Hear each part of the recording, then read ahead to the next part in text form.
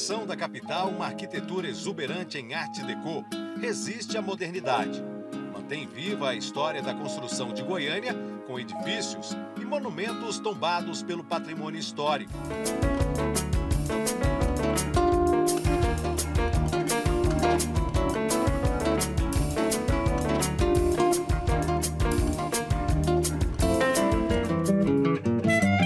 Os casarões passaram por um processo de restauração para movimentar a economia do centro. Nesta casa, onde morou Esmerino Soares de Carvalho, prefeito de Goiânia por dois mandatos, na década de 40, hoje abriga uma charmosa pizzaria. Até a dona do lugar não sabia que aqui morou um político famoso. Eu não imaginava, então eu pensei que nessa casa, de fato, teve muita história né, da família.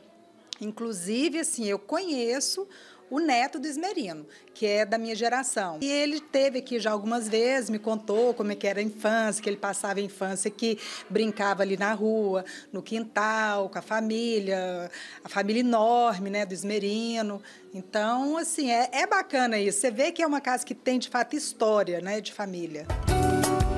A fachada original do prédio resistiu ao tempo e às ações do homem. Os traços que remetem a uma residência europeia se mantêm intactos. Durante a última reforma e ampliação de parte do imóvel, a preocupação foi manter as linhas originais. Os detalhes em arte deco que compõem o interior do casarão encantam quem visita o lugar.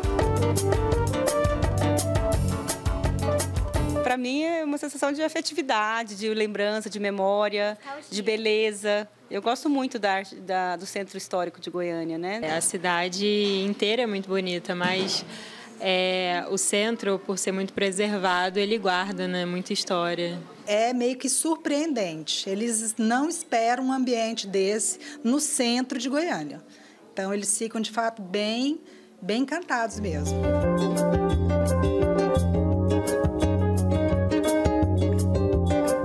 Engolido por prédios modernos, esse casarão guarda todo o charme de uma construção histórica inspirada em arte deco. Foi construído pela família de Escostesini em 1949, de grande tradição em Goiás.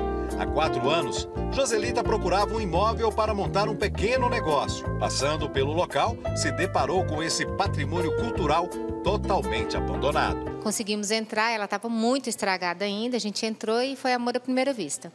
E aí, deste dia até a abertura, foram 30 dias e mais três meses para a reforma total, onde a prioridade sempre foi manter ela exatamente como ela era.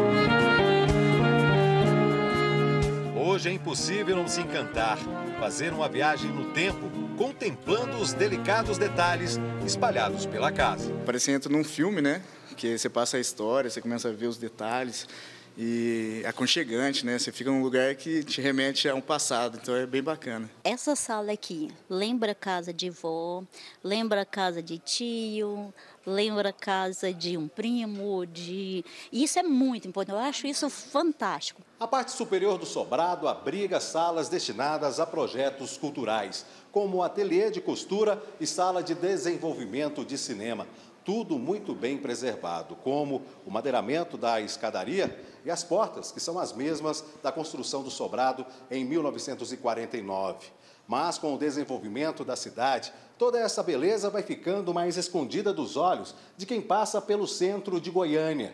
Em breve, um prédio com 32 andares será construído neste terreno que fica ao lado deste patrimônio histórico. É uma casa de 70 anos, então a gente tem essa preocupação de o que, que vai abalar, taco que vai arrancar, janela que pode cair, e no segundo momento de a casa ser engolida também, e a casa acabar virando um, um outro prédio, um outro arranha-céu.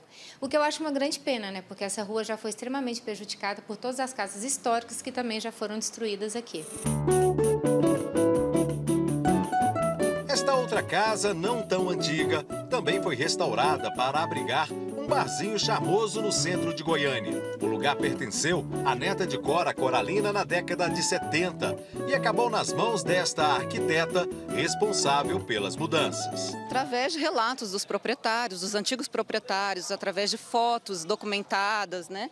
E da própria conversa com esses proprietários, a gente conseguiu então recuperar e trazer o mais próximo possível do que era essa fachada anteriormente.